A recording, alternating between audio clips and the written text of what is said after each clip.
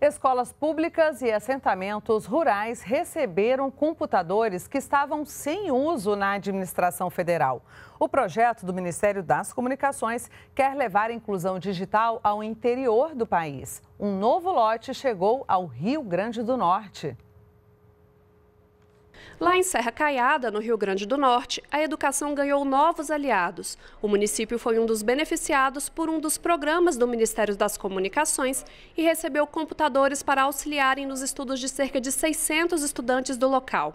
Será um trabalho eficiente e ajudará bastante na recuperação da aprendizagem que foi prejudicada pela pandemia da Covid-19. Mais de 5 mil computadores como esses foram doados pelo governo federal a escolas públicas e assentamentos rurais em diversos municípios do país.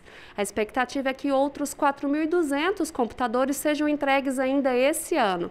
Essas máquinas estavam subutilizadas em repartições públicas e passaram por uma reforma antes de serem entregues aos novos endereços. O Ministério das Comunicações ele estabelece convênios com centros de recondicionamento de computadores.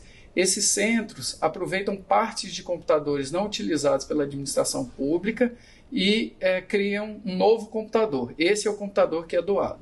100 computadores foram doados ao Rio Grande do Norte 60 deles seguem para escolas públicas do primeiro ao nono ano do ensino fundamental. Mais de um milhão de alunos de baixa renda em três cidades do estado serão beneficiados. Os outros 40 computadores já seguiram para assentamentos rurais e vão ajudar mais de 260 famílias.